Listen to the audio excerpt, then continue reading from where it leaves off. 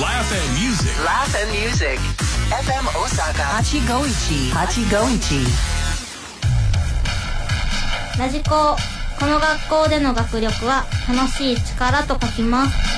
ラジコみんなで一緒に楽しんじゃう力学力を向上させましょう。吉本ラジオ高校高校ポイじゃ吉本ラジオ高校ラジコこんばんは。令和北南河野です。バターとキューちゃん想像つかんな。とか言うなよ。野村です。副担任のみーでちょっとす待てよあのおい。さっきねみー先生とラーメン話。そうラーメン好きなんで、はいはいはい。いやもうなんまあね国民食。あれなんなんでしょうねあの食い物って。美味しいわな。まあまあ行くわな。空き時間あって昼飯悩んでたらく。まあとりあえずラーメンかなみたいな感じになるよね。もう僕は基本そばかラーメンなんで。はいはいはい。早いし。うんうん。うんうんうん。もうなんか食事に時間とあんま好きじゃないのにもうまあ確かにパッてなっちゃったんですよねこの仕事や長いと。何ラーメン一番ですか？まあこれもうはい。ねあーでも無粋ですけど。はい。まあでもうん、うん。うん一番ですもんね。うん。いやいいですか？どうぞまあってなんやねんな。んで俺はエントリーされてないみたいな感じやねんな。いやエントリーされてないというかその、はい。ね劇場の舞台とかでもそうやけどもうなんかそんなトップバッター行く年ちゃうで。ちゃうやん。もうさその二人悩んでたからさ。何人かがこうパターン出てなんかもうちょっとこうなあるある。先輩だ俺とかやったらもう一番最後にボケとか当たり前になってきたやん。取りに行くっていうね。一番最後ケツ拭くというか。でもどの順番でもいいよってやっぱ言えるしはい胸張って。めっちゃ後輩おってもさお前トップ行くやん。ちょっと待ってくあれやちょっとほんまにやめてくれへん。じゃあれかっこ悪いじゃでそのいや今は二人じゃあ二人がさ今はええよ。今はええけどやっぱ思い出したから。あるよ。やっぱめっちゃ早かったし。大喜利とかモノボケのコーナーやったらとにかく最初行くからなそんな嫌やもん。いやみんなさう階段積んでいってやな。俺みたいにさ河野先生のことを一番分かってるやんうんやろだから分かっていやくれよ。だから俺はもう可愛いな。まだ怖いんやとか思うけど。最初に気をつけみたいな。何が可愛いなやで自信ない。んか思うけど。あやす言い方やん。なあ。お客さんは赤ちゃん相手あのの声人えーあの人あの芸歴で。思ってるそれ。まだトップバッター行えく思われてる？どっかで見たことあるやつ それ一番辛い。思われてんのかな？わリズム乗せてる。うわ。確かにな。逃げた逃げた逃げた思ってるかもな。分かるもんな大体芸歴でな。そんなん思う客一番やないけどよ。う来てる人思って何にもるかも考えてみなあかん。僕はうん。味噌ラーメンです。僕はね。あはい味噌。あのーあんまないやん。味噌ラーメンのお店って少ないねんけど正直。うん。専門店となると。でもあのー例えばやけどまあ店名出したらまあ好きやからね卵ろっていう。あ普段はえ煮干し系のラーメンやけど、冬場期間限定で味噌ラーメンが出てんねん、お知らんことそれ。おバター味噌ラーメンみたいな。美味しそう。バターがなのこえ？れバターとキューちゃんは浮かばへん言うて違う違う俺浮かばへんと言ってない。言ってないねんほんで。お前が言ったんやろそれは。じゃお前浮かばんかもしらんけどそんな言い方されたらキューちゃんが浮かばれへんわ。いや。まあ言うてますけど。言うてますけど。いやだからああいう期間限定のところで味噌が出てたら俺結構頼むねんな。それで言うと、ん。もうなくなっちゃったんですけどね。難波千日前に、もう僕らが愛してやまない頑固ラーメンさん、はい。ああそこのね頑固さんが冬場出してくれる味噌がめちゃくちゃうまい。めっちゃうまい。俺も味噌頼ん冬だの味噌いいね。結構うん。ででも味噌頼んだ。自家製ラー油がねあ美味しくて。うまいよな。そう。そうだ専門店は少ないんやけいや俺も子供の時あの平野の泉屋にあの母さんと買い物行ったら絶対ラーメン屋さん1階にあって、うん。あの口パンパンに広げな全部入らへんあの木のレンゲ、大きめの。あああれなあれな。コーンとかすくうためにつけたいコーンとかはええわ。でや味噌ラーメンコーン合うやろ。お前ら夫婦コーン好きやな嫁はコーンマヨめっちゃ好きやからな。回転寿司でな。そんな女一頭嫌いや。何がやねんな。と嫁はほんまだそんなんばっか食べるから普通のだから回ってないお寿司屋とかじゃない方がええねん。回転寿司の方が好きやねん。今ラーメンの話です。ごめんね。お二人いかがですか？何ラーメンですか？決まってるんですか？いやちょっとなこれ振っといてあれやねんけど、はい。いやまだ悩んでいいよ全然。1位やもんな、うん私じゃあ、うん私でもやっぱり醤油かな。醤油。醤油というか、まあ、中華そば。あね。いや。はいはいはい、うまいな。が好き。うんうん。うんあの劇場の近くやったら普通の感じが好き。上六とかでしょ？我々よく行くのまあ高いだけ中華そば。うまいな、とか藤井とかも。藤井そうなんさっきまあまあ醤油中華そばてそうよね中華そば。食べたすぎてウーバーしましたもん。できるんや家に？できる。でもあのー藤井の場合は自分家で湯がくんですよみんな。うんなるほど。湯がかれたやつじゃなくて、はいはいはい。自分家で湯がいてうん。スーパー温めて食べてください。めっちゃ美味しかった。藤井はチャーハンもうまいねんな。そう頼んだ。それで言うたら僕は新福菜館ですね。あーわかる。あの醤油辛さのわかる。替えの効かなさ。これ今マジ飯テロちゃう？んそれこそチャーハンもやばいよね。これ聞いてる人マジで食べたなるで。食べたいよ。じゃあ今無視されたな俺。なあ。で笑ったよ。な今な俺これマジで飯テロちゃうんって結構残しに行ったのにそれでチャーハン食べたよねってすごい流されたな今うんごめんね。すごかったよな今。でも今喋った瞬間思ったわ野村笑って思ってた無喋った視されてと思ったわると思って いやこれ聞いてるだけでも食いたなるで。いやまあ知ってる人は特にね浮かぶから。味の想像つくからな。決まっいやたこれねいまあそうやな。うんあるわ。ある。やっぱ二郎系。あいや替えが効かんねんあれ。ほんま。まあ。ずそもう鮮道ラーメン食うてきたけど。二郎系で基本は醤油ベースやんな。醤油ベース、醤油ベースにちょっと油とかもやしドーン乗っててニンニクバーンみたいな感じそうでも化学調味料。はいはいはい。これがねしっかりな。ケミカルな、うん。うん、スパイスカレーをやってる兄貴の弟とは思えんこと言うてるけど。もう兄貴は無課長ってね、うん。そういうの一切頼りませんっていうのでやってるから、いやうまいよ。うまいうまいうまいけどそのいやごめんそれを強調で言おうと思ってたんやけど、そのえー神保町に昨日一昨日か、行かしてもらっててで、えー空き時間はなほんまもうずっと分かった。分かった？いや FM 大阪のロゴのうん「お大」の字がずっと何かに見えてて毎週うん。海遊館や。あこの何やねん急に。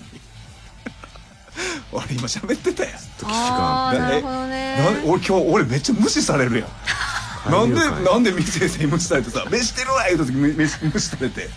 あれ今日野村にも河野先生お休みですおるやん。届いてない声俺の声は。そうか今日お休みか。じゃあおるやん。いやいやそんな神保町の空き時間に俺はまあ飯食いに行ってで野村に「何食いに行った?」みたいに聞かれたから「まあ、カレーのここここ行ったよ」みたいな神保町有名やからカレーでここここややこしいな。ここ一かな思うで。どこどこ。どこそこのやでっつって。で次の空き時間に多分野村飯行って、で帰ってきてね楽屋2人の楽屋やって。でドーン座って「ああ食うた食うた!」ってめっちゃでかい声で言ったよ。で「でなんやねん」っつってそのまま聞聞くやんそら、これは無視できへんから「食うた!」でっかい声「食うた!」言ったらその今豚山やったっけ、っていう二郎系ラーメン食うてきて「ニンニクぶち込んできたわ!」って大きい声でその後漫才やんねんか、でええねん。俺ではその時はこれ野村が言ってくれたということは、ちょっと野村の中で「ごめんね」っていう意味かなという。あー。漫才前にニンニク食うことに対して「まあ、ごめんな」っていう意味で「ニンニク食ってきたわ」っていう感じで俺は捉えたから「まあええよええよ」みたいな「まあまあそうなんや」って言ってんけどいざ漫才始まってめっちゃやっぱ臭いな。せやろ。俺それを それを何回も予告なしに味わってんねそうですね。そう過去に俺もやってもってるから、うん。んもう10じゃ期間ぐらいですよ。ほんまに1回10分出番とかでうん7分ぐらいお前の口臭いで切れて終わった時。じゃああったあった。どういうつもりやねん。何の時だっけラジコでも言ってましたよね。みたいな「お前くさーどうずっとネタできへん」みたいな。まあまあそのデフォルトがね臭いんですけど。デフォルトが臭い。なんで基準が臭いのお前待てやこら。いや俺そうほんまにネタ中はもうなんか言う隙間最初言おうかな思ったけど、まあまあそのネタが始まったし言うとこもなかったけどいや俺もう危なかった。ほんまマジ集中できへんなせやろ。うん。これルール決めなあかんわ俺コンビルールいろいろあるある中でニンニクまあ俺はあんまニンニクの時もあるけどネギもやんのよ。ネギをそそれこそ、あの横綱ラーメンっていうねうん。ラーメン屋さんはネギ入れ放題やねん。でこうでっかいタッパーで一人一個くれてあのパンパンのタッパーを俺半分ぐらい入れんのよ。好きやからネギが。え引いてるやん。ちょっと引いてるやん。半分も入れる人いるんだ好きやね俺だからバーってなラーメンにも入れるしチャーハンにも乗っけたりすんのよ。好きなんでね。でだからその時は自分の口の中に、まあ、ネギとかを感じるけどまあまあ大丈夫かなと思ってたけど人の機能嗅いだ時にあこれあかんなと思ってその漫才前はやっちゃうとまあお客さんには全然匂い届いてないけどあのセンター届いてんのかな、前列のお客さん野村のあのニンニクの匂い？うん俺と思ってはるんやろうけどね俺と思ってんの？絶対左の人や。最悪や言ったらよかったらほんなら。顔的に。顔的こにの匂いは絶対左の人。すごいマイナスな顔。え俺ニンニク臭そうな顔してる？ニンニク臭そうというかなんかスケベそうやん。見るからに。なんでスケベは臭いの？スケベ別に臭くはないやろ。じゃあなんかそういうなんかネガティブなさ。何？イメージ。臭いドヨーンとした。そうそうそいやあれだからちょっとほんまに集中できませんねやっぱ何匂いってな。うまあまあそれはでも普段からそういうとこあるやん。俺が、普段出してる匂いが。いや違う違う違う違うその漫才なんか集中。さんも集中してるみたいなことおっしゃってましたけど。青かお前。5分10分ぐらい俺集中できるわい。漫才中の。やってますよ。毎回集中して。あんなニンニクの匂いされたらもうずっとニンニクや。頭の中パンパン今日は女来てんのかなっていうボリュームの時とかあるし。何やねんそのボリューム。うるせえって。すごいやる気出してる。集中やん。毎回全力ってことや集中？え？集中？集中？集中してんねや。集中ね。くそため息くさラジコ俺今日食うてないからなニンニクとか。ネギもポテンシャルや。ほなポテンシャルやん。臭最悪や。いちゃんと聞こえへんし。はい。言いましょう。はい、はい。今日の近まりです。あ今日も3人でトークしていきます。はい。21時35分過ぎからはアイレスサークルです。うん。その後は妄想あるあるです。笑ってるやんこれ笑ってるやないかこれね一生臭っておもろいねこれ僕ずっと唱えてるんですけど、うん。臭いじゃなくて、ん。臭って。なんかわかるわかる。連れとかとほんまに歩いててうん全然脈絡なく誰か一人が「臭っ。なんか臭ない?」って言い出したらもう俺もう笑い止まないのそうやな。そう、これ赤ちゃんも笑うから。うちの子もすごい笑うから。すごいなんかいやバーンってそのインパクキトーワードよ、これ。うん。おもろいうんな、ね。うんなちっちゃいつつくとおもろいな草って、どこまで言いましたっけ？えー、妄想あるあるのテーマ？はい。はい。妄想あるある。お題は、うん。セクシー女優です。はい。セクシー女優送ってきてください。ん。帰りの新幹線でめちゃくちゃひとみさんそっくりの人がえ？三列シート自由席やったんやけどおうおうおう三列シートのあの手すり部分うん。を上げてん。横なってたわ。マナー悪いと思って。えど上げて？あれ手すり上がんねん。はいあ間ね、そうそう間そうあれ2個とも上げて。隣に誰も座ってなかったんや。そうそうそう。え？ーわかるけどっていう人がなんかめっちゃひとみさんに似てて。ひとみさんではないやろ？ないな。いけそど。そうそう。そっくりや思ったんや、マナー悪いねそれはね。注意してくださいそういう時は、えーエントリーは FM 大阪のリクエストホームからラジコを送ってえー選んで送ってきてください。ツイッターは「ハッシュタグラジコ」とつけてつぶやいてください。お待ちしております。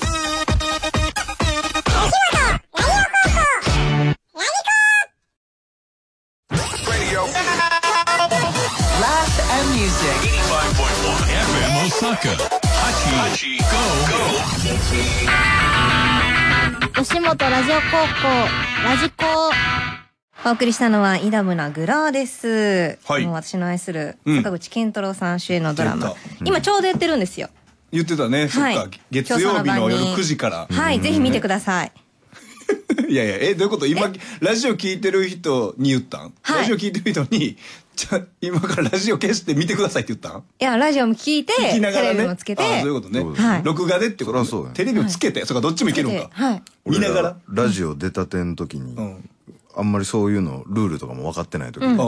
そっち系のボケやってめっちゃ怒られたから、もうガンガン言いますよ。おやすみなさいもあかんとかああ言われたな。あまだこの後聞く人いるからってかことやんな。らそうその切り方はやめてくださいみたいな、確かに。局によって全然違いますよね。うん。うんそれこそ DJ、ここは DJ でもいけるし、でも DJ 使っちゃダメなとこもあるし、パーソナリティ言ってくださいっていうとか、結構局によって全然違うんですよ。でもなんか他の例えば曲の番宣とかしても OK みたいなとこもあるよなチラッと。ここ結構 OK うん。そうだね、ラジオってなんか。でも番組によりけりんっていうのもあります。そうかそこの。赤丸とかまたちゃん赤丸はだってなんねでぶち込みたいね同じ曲ですから。ねな、なんそう赤丸だってこの曲。そうか。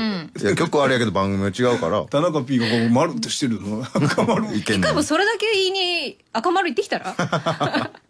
きそうやな。てか入れ生ジングル野村の声でジングル入れてもらったら。うん一回行ったら？一回ぐらい。いや俺そんなん泣いてまうわ。え夢やった？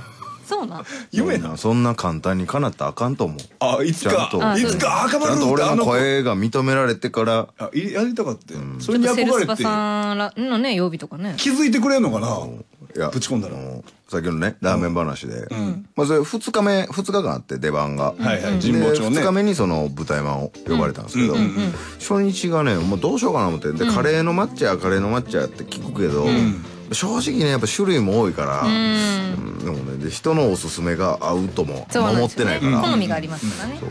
どうしようかな思って。でほんま何でもよかったですよ、うんあんま僕日中食べないんで出番あったら特に、眠なるから、でもなんかちょいちょいね神保町花月の時代から気にはなってた真向かいにある、えー神保町餃子小籠包って書いてるお店があって、はい。表から見るだけで清潔感あって、で看板で出て、まあ、ランチがどうでこうでって。でもその時3時回ってたんかな、3時半ぐちょっらいでと遅め。でまあまあランチやないにせちょっといっぺん行ってみよう、で入ったら中国の方が、えー、40過ぎかな、おばちゃんが、あの店員でいらっしゃってでどれしよう思ってでランチメニューがテーブルにポンと置いてたから、あかんわと思ってのけたんですよ、普通のメニュー普通のメニュー、だから2時半とかって書いてたから2時半までみたいな、だからそのおばちゃん来はって、あのランチもいけるへえ。全然大丈夫みたいな感じで言うてくれたから、ええっつって。で、まあ、せっかく言うてくれたしじゃあええの頼もう思って、まあ、ほんま担々麺とかうまそうやなとか思いつつ、えー海鮮あんかけラーメンみあなー美味しそう。と半チャーハンあーいい950円ねじゃあこれでっつって。で「分かりました」ってで僕仕事の LINE をせなあかんかったんで、うん。まあ、15分20分ぐらいずーっとこの携帯触って作業してて、うんけえへんな思って。うん。ふっと厨房見たら、ん。あの目目を追ったんですよそのおばちゃんと、でニコッと返さはって、うん。あもうすぐってことなんやな思って。でまた携帯に目を落として「けけえへんな」ってなって、もっぺん見たらなんかバレたじゃないけど、うん。あーってなってで走ってきはって、シェフと連絡つかない」って言われて「何それ」ってなって「は？え確かにもう見えてる厨房から一切音せんなと思ってたけどそんなことある？どういう状況なんかがもうまず分からなくて。神保町的で大爆笑した俺死んだんかな思ってシェフと連絡つかんってなんやねんってなって。何その状況っていうな。ええ言うて。あなのに強気でランチ OK って言ってそうよなほんでなんか担々麺だったら、私できるって言われてちょっとええわと、その今から。まだど何かも分かってない、うんおばちゃんが唯一できる担々麺、で 焼き飯はできないだから、餃子は、えーいけるって言われて、焼き飯食いたかったし、ううん思って。うん。でうわそれどうしようかな。ほなもうじゃあ担々麺と、えー餃子のセットで,、で焼き飯無理だったらじゃあ白ご飯。うん。ください、はいはいおおオーケー。それだったらできるって言ったら、扉開いて「ああ!」言うて、中国語でもううわー言わはって、でそのなんかシェフの男性も「ほんとすいません」みたいな「めっちゃ怒られてるやん」ってなって「じゃあ大丈夫大丈夫大丈夫」っつって全然大丈夫みたいな。シェフは日本の方いやえー中国の方中国の方かでおばちゃんがもうほんまにグッともう 3D で僕に「今ならどちらもできる! 」そりゃそうやんか。帰ってきたからな。じゃあじゃあじゃあもうな五目頼んでたし五目の方でえで無事？そう。で焼き飯がほんまね真っ白。まあ具材もちろん玉ねぎとか人参とかまあ入ってるんですけど基本あのー焼けてるって感じよりは真っ白な綺麗なやつで食ったらもうほんまにね自然な塩気だけのうん。うん。素朴な。結構うまくてあ俺結構当たり引いたんちゃうんと思あってちょそっと火ついてううんうんで五目あんかけ。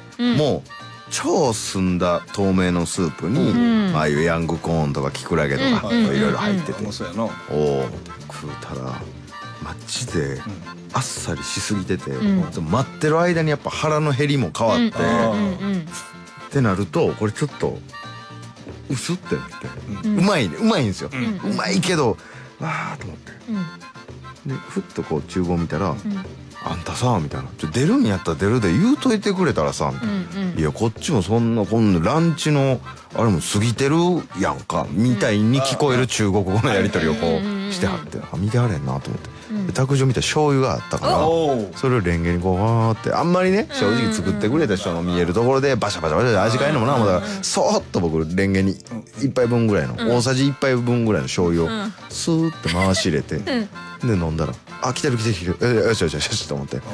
もうちょい欲しいなと思って。うん。もう半分ぐらいん。回しかけて。うん。あー来てる来てる来てる。よーしうまなってきたうまなってきた。うん。まだでもあっさりしてんな大マッサー ジしてるすいやでもまあ醤油系とそのねバランスがあるから。思ったらす餃子用に酢醤油なんでしょうね。だから酢とラー油とえーあの白胡椒。はい。うんうん。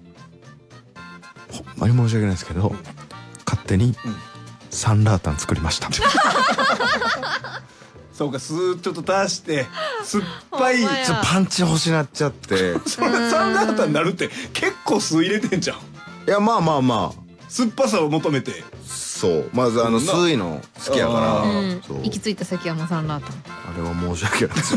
もうどっからどう見てもサンラータンだったからめちゃくちゃうまかったけど。いやうまそうやな。確かにね。味薄かったら足すけどなそれはもう自分でカスタムというか。家でどうその奥さんの手料理さ、うんまあよくだから僕もね昔は同棲してたりとかして、はいはいはい。うん。そのいや一応見るけど、うん。一口は食べる例えば、得意料理とか、うん。まあ、何回かこのこのこれを食べたことがあるやったら、もう大体想像つくというか、うんはいはい。はいで俺よく言うのがなんで食べへんのに、うん。醤油かけんのとか。食べてへんのに。食べてからなんか足らんな醤油わかるけどってで確かにうん。何にでもかける人はうん。おると。うん。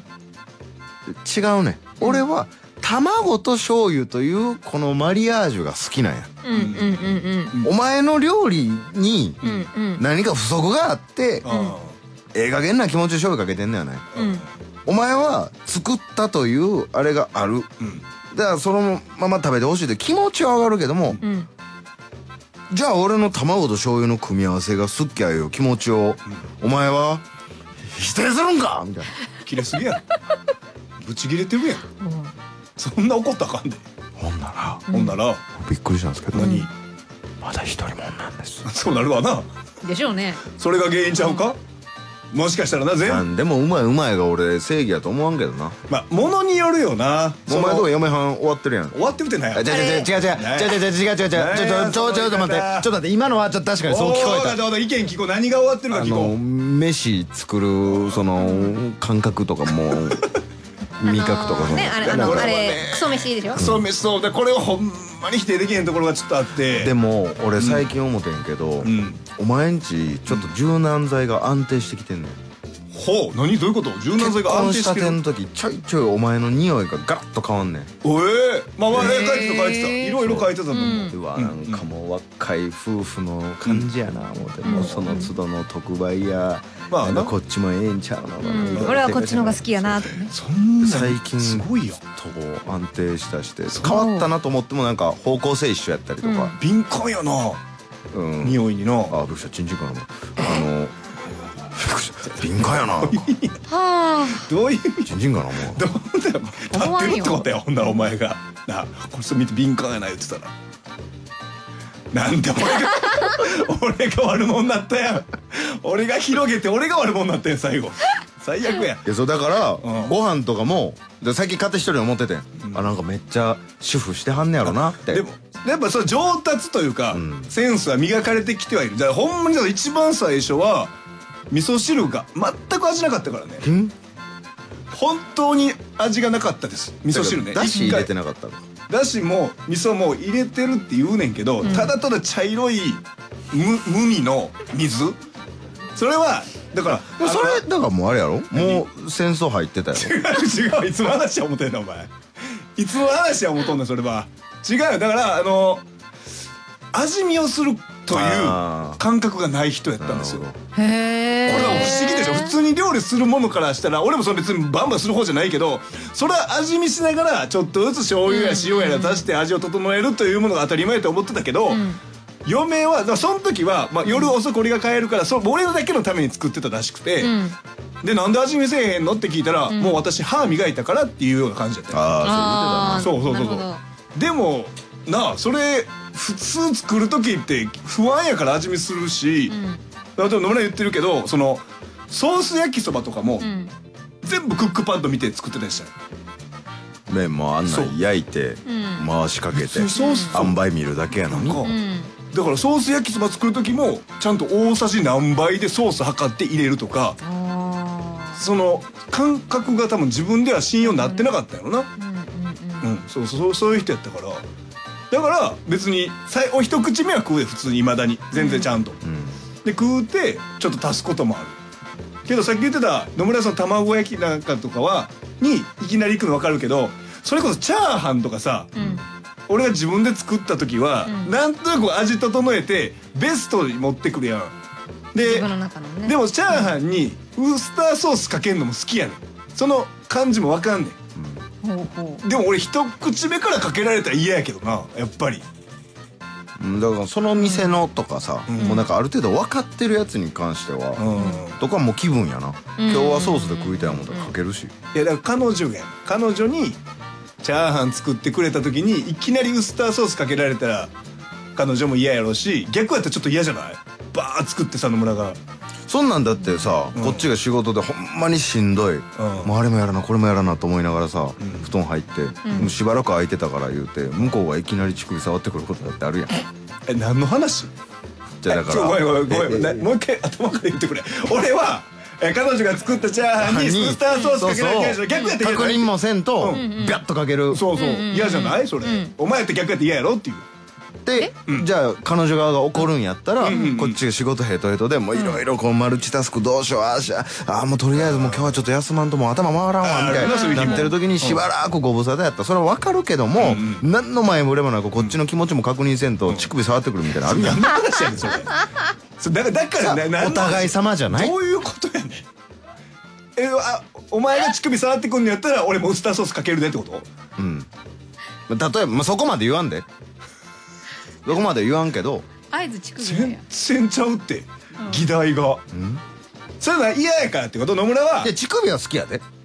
だから彼女もそうしてきたんやろうし。ほんならプラプラやんお前からして。プラスプラスや。彼女も舐めたいお前も舐められたい。プラスプラスや。今ちゃうで。ウスターソースかけられたいかけたい。やからね。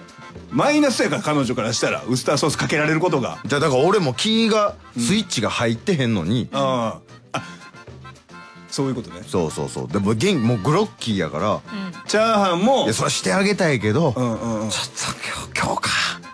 まあそうかでもなかったもんな。わそらそうやなとか。それじあそう順番を経たいってことではないのか？今言ってたそのチャーハンが出てきます。そのまま食べるのが始まりやと。わかります、まあ、前期ですわな。その な？あなたの議題にスライドするならばそういうことですわ。食べて。でそのあなた行為がウスターソースをかける。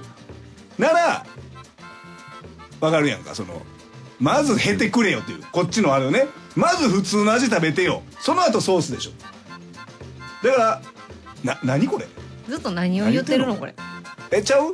ちゃう。いきいきなりこれじゃないやろってこと。いきなり乳首じゃないやろ。あじゃないじゃないもうちょいそのキスからとか。あそそんなそんなこと言うわけないやん。ほななんなん？ほななんなん？なんでその俺が言ってそのウスターソース論と乳首なめ論が今戦ってんのこれ？舐めるって言ったから乳首触られるやん。ごめんな。うんそこも気になってたずっと。あ俺なめるになってたうわ、んなんてさ触るか。いや舐めてももらうけど じじゃええやん。それめっちゃプラスやん。ゃだから気乗ってへん時の乳首はただこそばいだけやん。頑張れよ。気乗らせろよそこは。向こうめちゃくちゃ贅沢な話だぞお前。いや逆もあるやん。それ女性側全く何してもあかん時あるやん。だからそうそうそれ嫌やろ。お前それおそれ逆ほなほな一緒や何してもあかん時があったらやめもう頼むわと思ったことがあんねやろ？ほんならお前も触られてないでも俺は俺はもうん。うじゃあごめんほんまお尻だけいいっつってうん。顔埋めたらうん。ちょっとまうん。あまあもうしゃあないかってなるもん。その別でええの？何を聞かされてるもうのもうちょっとその何？抜けるわけ、うん。その何？性欲がもう解消されるわけ？お尻いやムラムラするでムラムラするよけど。りムラムラするやろ？よりではないもうなんかその愛おしさでなんかかき消される。尻の。C の、うん。でも今日はじゃあ諦めようってなるのかな。向こうが乗り気じゃないわけやからな。そうそうそれ無理やりしてもな無理やからな。だからその時だってだからか逆やんだ彼女は、あなたにそう乗ってほしいがために触りに来てるわけでしょ、ほんならちょっと答えてあげてよ。答えてあげてよ。そこは。な？ちょなんかずっと。い頑張ってるやん彼女さんそれ。やもうほんで今おらんし。その過去の話昔の話やからな。だからそれでも今後な。これをもし今後新しい彼女ができる今後なんかだって年いく一方やねんからどんどんでけへんからね頑張ろうって。頑張れってまだ。したいから。し味見の話からすごい話になったね。なんでこんな話味見はどこ行ったん？こいつから始まった話やで。野村が出してきたんやで。乳首触る触れへんは本当何からスタートしたかも覚えてないもん。で俺が怒られてんの？え俺が怒られてんの？今これ。え？え？え？ちょっと待ってミー先生は今どっちに怒ってんの？野村かこいや怒ってない怒ってない。困惑してるだけ。何何喋ってんのやろ？このおっさん二人はって感じ。じゃあなんか喋ってるその量に比べてなんか回収率が低かった。何やその言い方何やねんその言い方は。おいお前えぐんなって。もうちょい優しいせえや。換金率が。何がやねんな。低かった。じゃあお前が変なこと言い出すからやろ。頑張って俺は理解しようとしたんや。マルハンかなチャーハンにソースかけるのと何がどうかなって理解しようとした結果そうなってるんやって。なあ。ただ座れてえ？ただ千円札が座れてた感じ 全く当たりませんずっとか回ってるけども。いや大当たり出えへん時もあるよそんなもん。で羨ましいなと思って何？だからなんですぐそうやってさん。大当たり出る時もあるみたいな言い方するの？出る時もあるやないや。ろ大当たりの日もあるやろ。ないよ。過去に？じゃあ夫婦喧嘩終わらなさそうなのでこの後はお知らせを挟みましてて。アイリスタックルです。吉本ラジオラジコ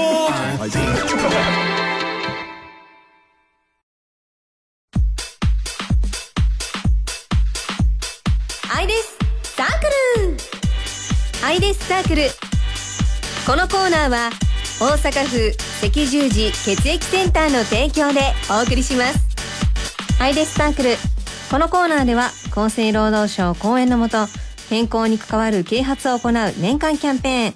アイデス FM 大阪の一環として HIV、エイズ啓発、献血などの啓発情報、医療情報などをお伝えいたします。さあ今日はこの方にご登場いただきます。お名前をお願いします。はい。えーライオンズクラブ国際協会 335B 地区奉仕 GST 環境保全献血委員会コーディネーターの坂本圭一と申します。よろしくお願いします。はい、坂本さんよろしくお願いいたします。では早速なんですが、ライオンズクラブについてお話しいただけますか？はい。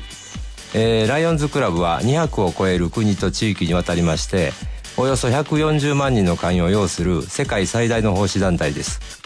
我々の所属する 335B 地区は150を超えるクラブがありまして、メンバー数は約6500人の国内最大の地区です。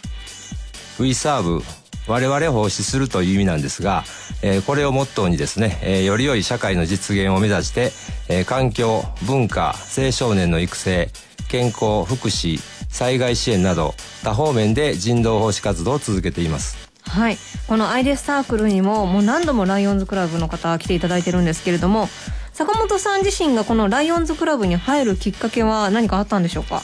はい、えー私はですね、えーちょうど21年前になるんですが、はい。えー40歳になってすぐにですね、えー地元の松原ライオンズクラブに入会しました。はい。で今ではもう2人の孫のじいじなんですけども。ああそうなんですか、えー当時は、えー私の子供がですねまだ小学生だったので、えー子供らの将来を考えると特に環境汚染の問題に大きなあの興味がありましてね、でライオンズクラブに入れば環境保全の活動なんかもできると知ったことでライオンズクラブの入会を決めました、最初はもう子供たちのためにこれがきっかけだったんですね。そうですね。うん。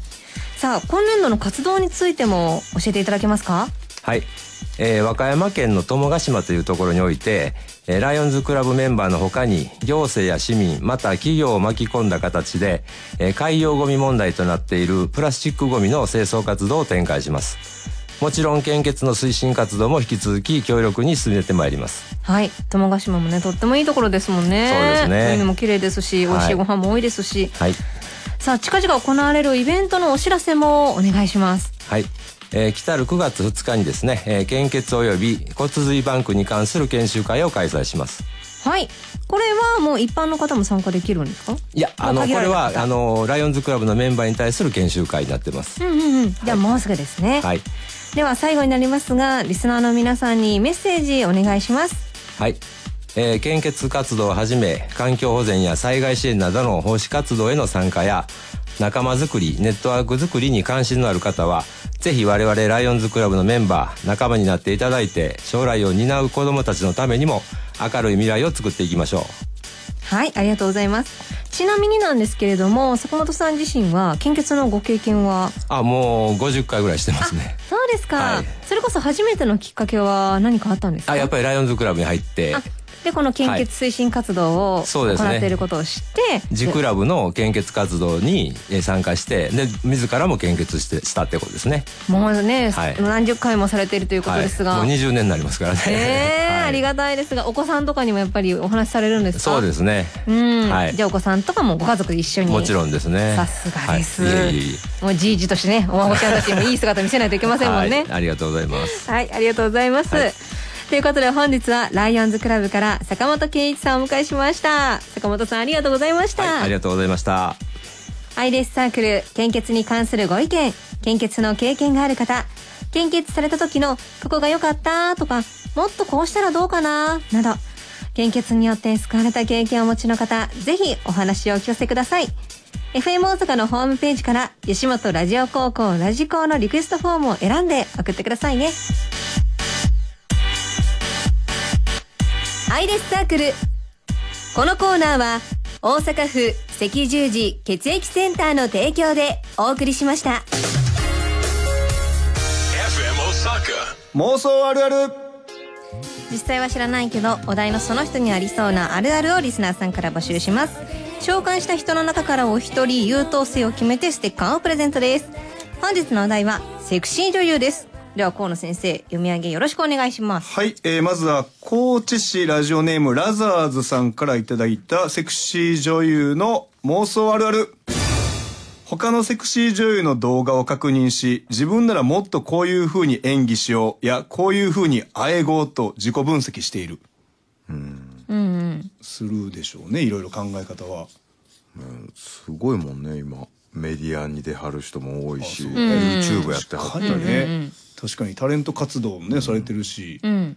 どうですか野村先生やっぱこのデビュー作と後期の作品でやっぱりこう成長していくとか見るんですか？いいえ。えあそう。えうっせやん俺結構その見る？あのうん見ます前なんかこのそういうなんかお前面食いやしな。なんか綺麗どこ好きやろ？そうね。清純みたいなのとかも。そう。でへ久しぶりにデビュー作見てみようとかな一回こう帰ってみることもあるな、今ってどなたが人気なんですか？今どなたが人気なんやろ？誰？えーだからあんま流行りの女優さん知らんねん。三上岩さん。あ名前は聞くな。めっちゃ可愛い人、うんうんうん。綺麗な方で。多分それこそタレン元なんかアイドルとかですよね。うんうんうん。へえそう確かに元アイドルの方でねセクシー女優さんになられる方も多いからなテレビちょここちょこ出てますもんうんね、うんうん。もう俺らの時代はな及川奈緒さんとかな。うん。夏目奈々さんとかね、うん。そのテレビも出ながらっていうイメージは。そうやってね。青井空さんとかな。世代やな。ああ出てたな。えー朝倉マリアとああチチリンピック。大好きでした。あの昔ね「ノリノリ天国」って深夜番組で。そう。のりよしのな。あのおお胸の大きい、えー女優さんであのなんかいろいろそのおっぱいを使った、はいなんか競技をするってのでどういうのがあったんですかなんか風風船をこうなんかそうそうそうもう出てるからね当時やから、ん胸も出てたし VHS に撮りまくってたな何回もみんなで見たでみんなで集まって家族で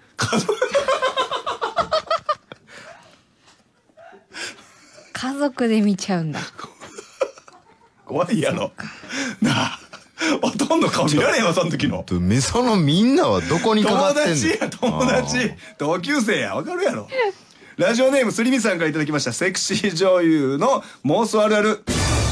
深夜ドラマのちょっとエロいシーンの方が抜けるって言われる。あわかるなこれもなうーんーまあなんか若い時はそうやな10代とかは。なあ、ん。そういう方がドキドキするしな。そう探してたな。そうアダルトものよりもちゃなあその民放で流れてるというそこにまた興奮を覚えるからね、俺とかはもうやっぱケーブルテレビで、ん。あの日本映画専門チャンネルとか。あそっち系の濡れ場で深夜にやってるエッチな古い映画。はいはい。たまらんねわかる俺でも古谷一行さんと日野翔平さんの混浴温泉連続殺人事件見たか、あれもよかったな。いい時代でしたねほんまに。日活ロマンポルノとか今厳しいもんね。ーそうやでラジオネームカスタムバイクのガレージライドさんからいただいたセクシー女優の妄想あるある。無茶な体勢で頑張ってる時は 男優さんの足つったりしないか心配になる。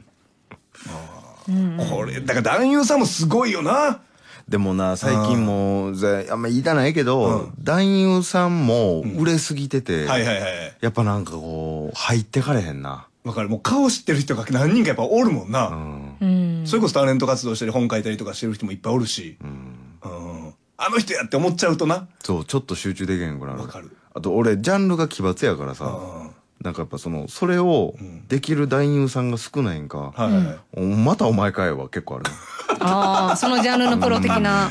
ああ限られるもんな。そうそう。それを NG 出してるかどうかによるしな、えー続きまして広島市ラジオネームひまわりひかるさんからいただいたセクシー女優の妄想あるある。いつもお世話になってますって言われる職業ナンバーワン。